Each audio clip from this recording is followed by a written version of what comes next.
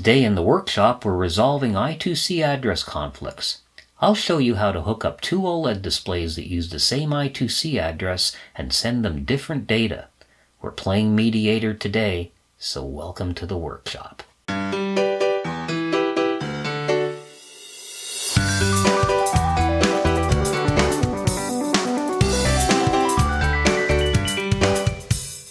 Well, hello and welcome to the workshop.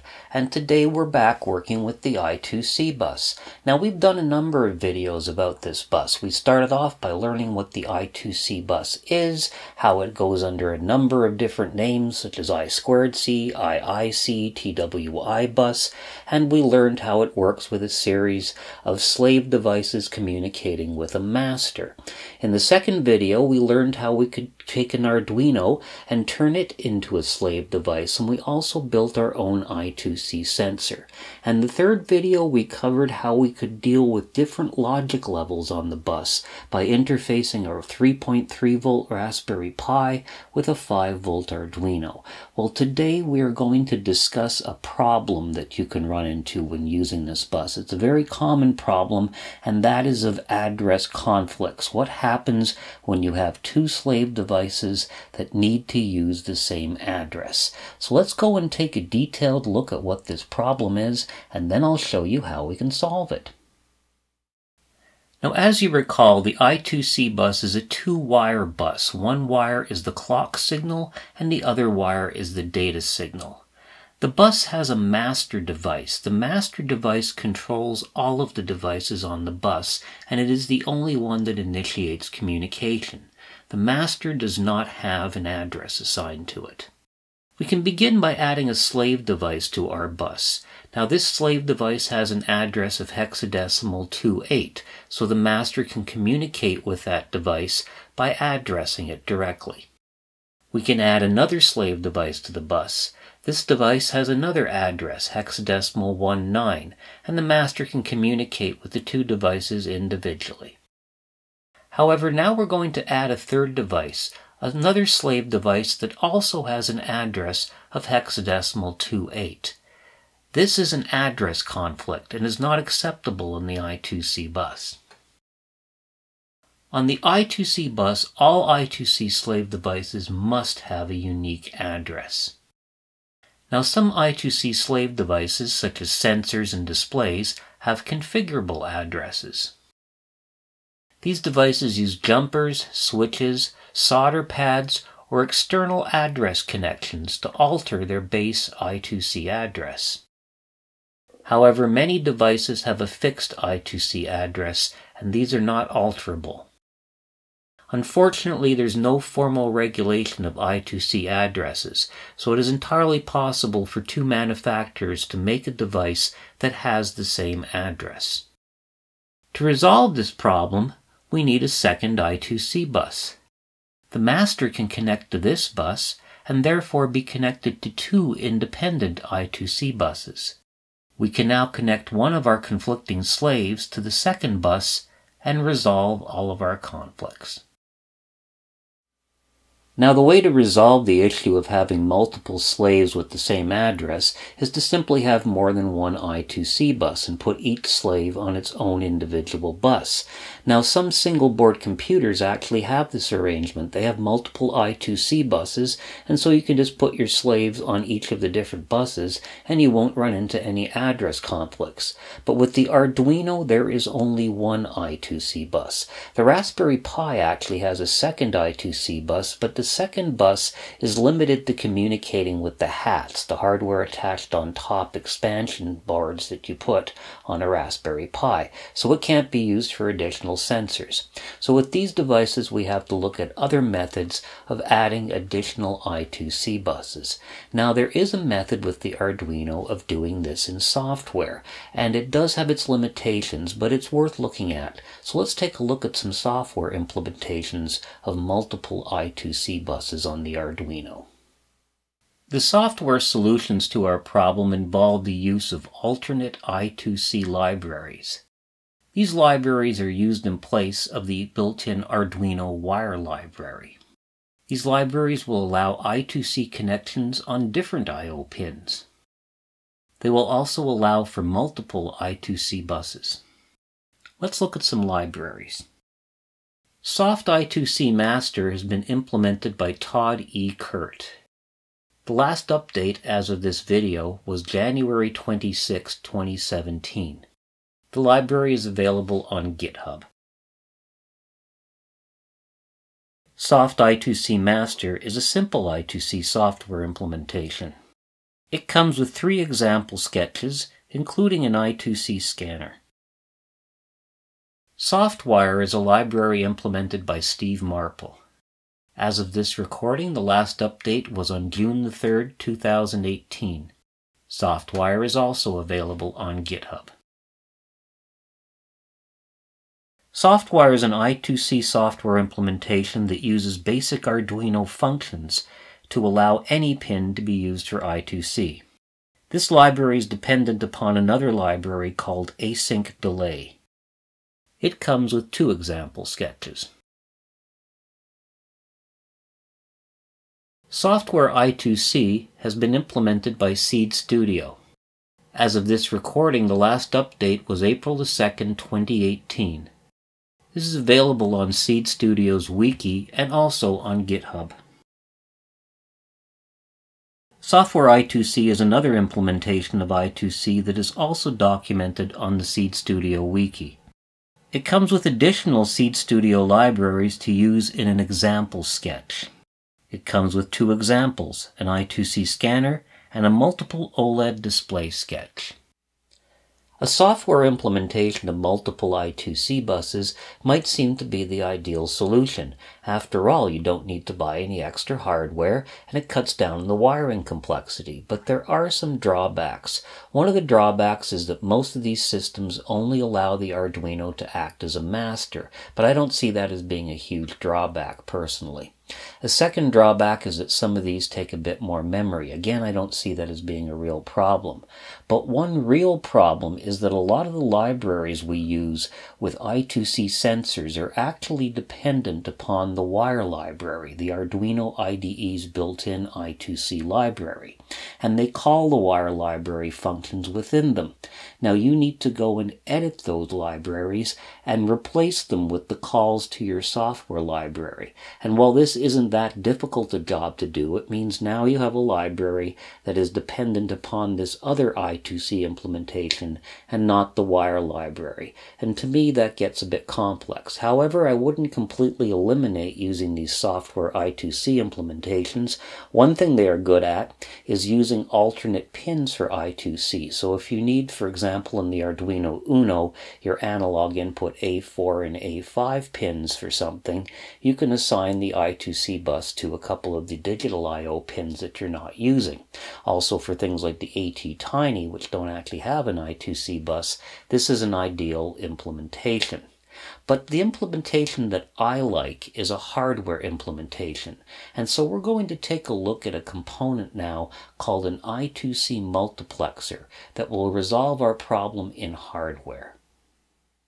The module we will be using is the TCA9548A module from Adafruit. This is an 8-channel I2C multiplexer. The device operates on 3 to 5 volts and all of the pins are 5 volt tolerant. The module has internal 10K input pull-up resistors. The outputs do not have pull-up resistors. The module has a base address of hexadecimal 70. There are also three address pins to allow you to change the address. Here are the pinouts of the TCA9548A. The VIN is the power, which can be from 3 to 5 volts DC. GND, of course, is the ground. SDA is the input I2C data. SCL is the input I2C clock. The RST pin is a reset pin and is normally left unconnected. A0, A1, and A2 allow you to set the I2C address. Channel 0 is represented by SD0, which is the SDA line for channel 0, and SC0, which is the SCL line. There are similar pins for channels 1 through channel 7. The TCA9548A is available in other modules as well. Some of these modules do have pull-up resistors on the output pins. Now this is the Adafruit TCA9548A module, and it's the one I'll be using in our experiments. Now you can get this module in other form factors and from other manufacturers as well, but I like the Adafruit module. It's nicely made, as all Adafruit products are, and it's got the connection silk screened on the board to make it easy to hook up.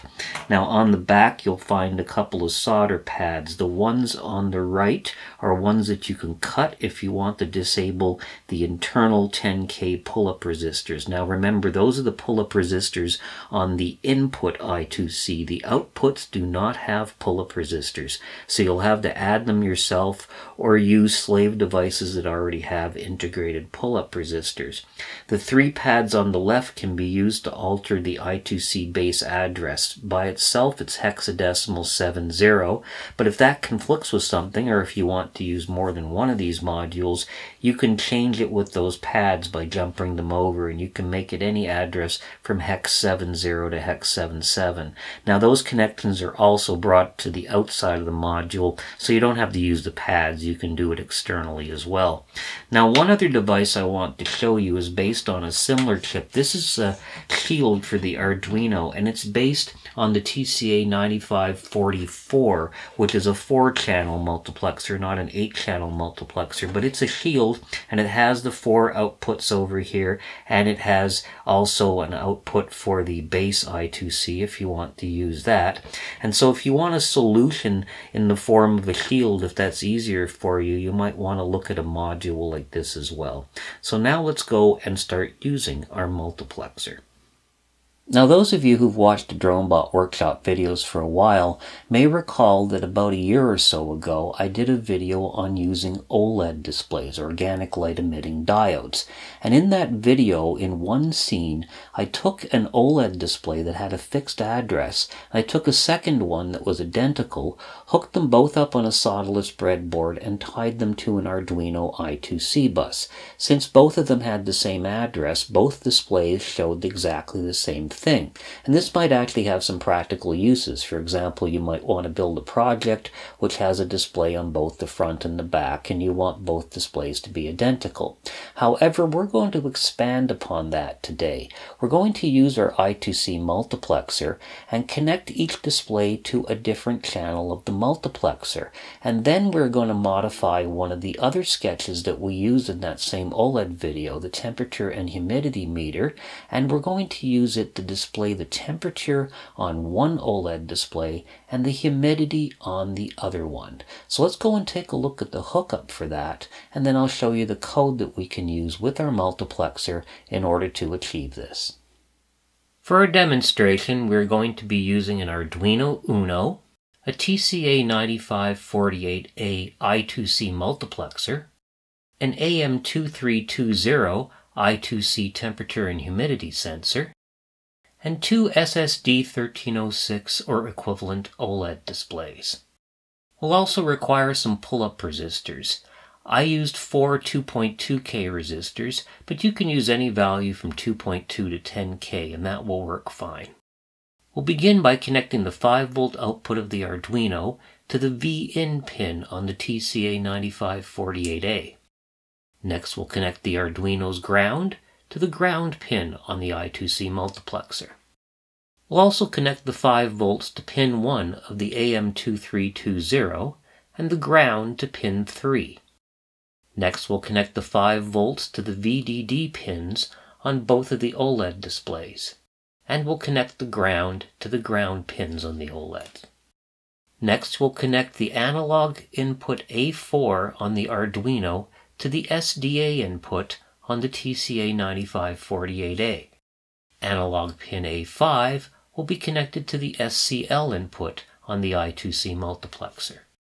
We'll also connect the SDA line to pin 2 on the AM2320 temperature and humidity sensor. And we'll connect the SCL line to pin 4 on the sensor.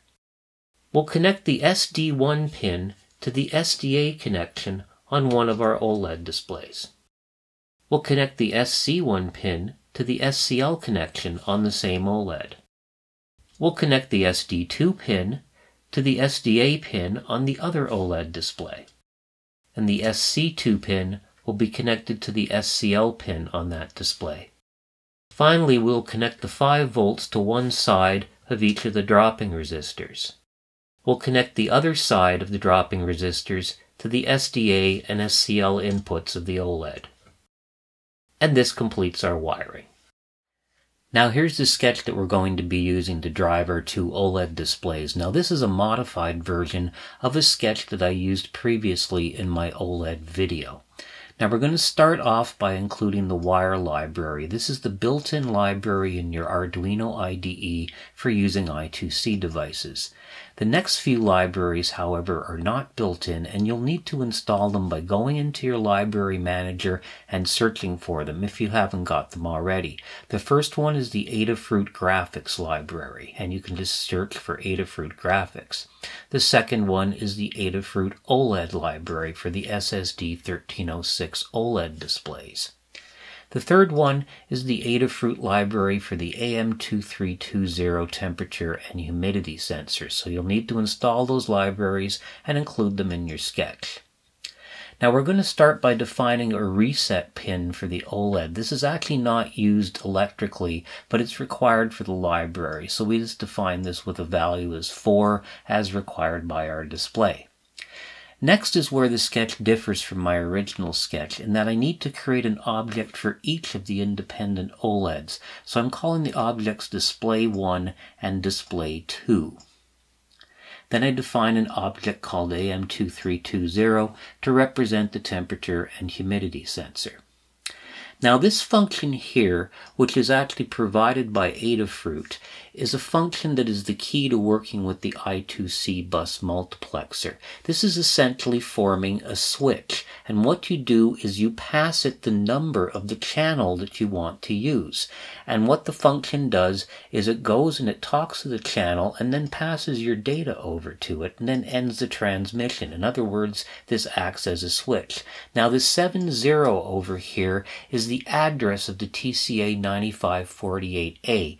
You can change the address on this device by altering the A0, A1, and A2 pins, and if you do that, you'll need to change the address in your sketch accordingly. Now we have a function called display temp, and the temperature is going to be displayed on display number 1. And so what we do is we clear display number 1, we set the color to white, even if the display is physically a different color, we always use white. We set the font size, I set it to 2 so it would be visible. And then we set the cursor to a position on the display. I moved it down a bit toward the center. Then we print out the letter T in a colon with a space after it. Then we print the value TEM, which we passed in the function, and this is a float representing the actual temperature. And then we do a space and print a C because we're displaying our temperature in Celsius.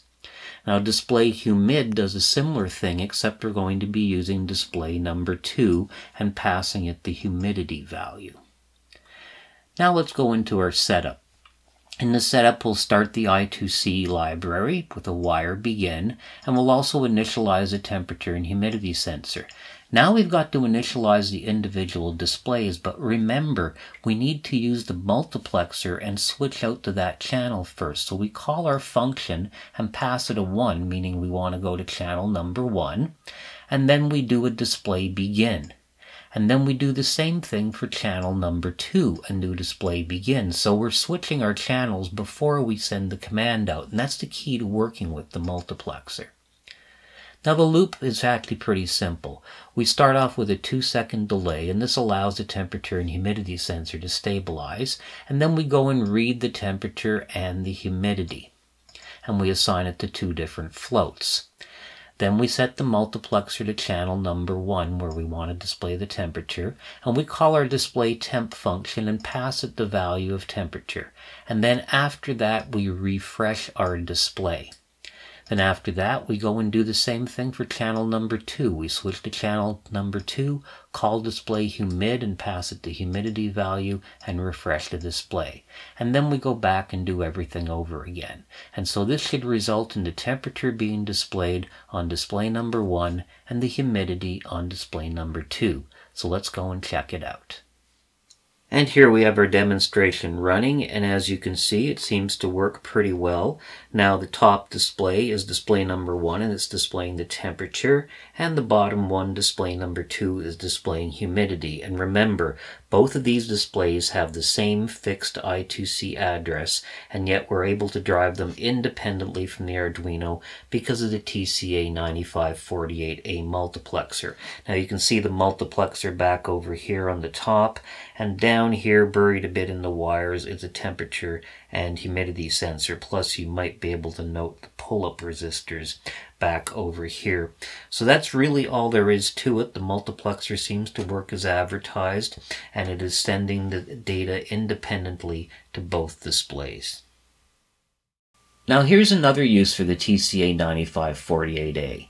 In our example, we'll use a 5 volt microcontroller attached to the input thus putting 5 volts DC on the V-in pin on the TCA9548A. We'll attach I2C connections to channel 7 of the multiplexer, as well as power and ground connections and a 5 volt power supply. This creates a 5 volt I2C bus. We may now attach 5 volt I2C slaves to our new bus. We can also attach another I2C bus to the multiplexer on channel 3, this one using a 3.3 volt power supply and 3.3 volt sensors. We can attack as many different buses as we wish with independent power supply voltages. Just make sure to tie the ground of all the buses together. This example also works equally well with a 3.3 volt microcontroller. The TCA9548A is always powered by the host microcontroller, but you can mix and match bus voltages as you wish to increase the flexibility of your design. So having multiple I2C slave devices with the same address is not the end of the world. In fact, I've shown you two different methods you can resolve it, one using software and another one using a piece of hardware. And by implementing multiple I2C buses, you can also help resolve another I2C issue. The I2C bus is limited to approximately one meter of total cable length, and that's because of the cable capacitance will eventually degrade the signal. Now, if you have multiple I2C buses, each one of those buses is subject to that same limitation. So you can have much more total cable and run many more I2C sensors and displays around your project. In fact, I'm using that same technique in my DB1 robot to run I2C sensors around the robot chassis. Now, if you'd like to learn a little bit more about what we talked about today, you'll find an article accompanying this video on the DronebotWorkshop.com website, and there'll be a link to that article right below the video. Now, if you'd like to learn more about the DroneBot Workshop, you can subscribe to our newsletter. The newsletter comes out about every two weeks. It's not a sales letter, it's just my way of letting you know what's going on here in the workshop. Now, I make videos approximately once a week, but sometimes I miss out on one. So the best way to find out about new videos is to subscribe to the YouTube channel, and when you subscribe, click on that little bell notification, and that way you'll be notified every time I make new content. And finally, if you'd like to discuss today's video, or if you'd like to discuss electronics with some like-minded people, or if you'd like to make suggestions about new videos and articles you'd like to see, the place to go is the DroneBot Workshop forums at forum.dronebotworkshop.com, and I hope to see you on the forum very soon. Until next time, please take care of yourselves, and I hope to see you again very soon here in the DroneBot Workshop. Goodbye for now.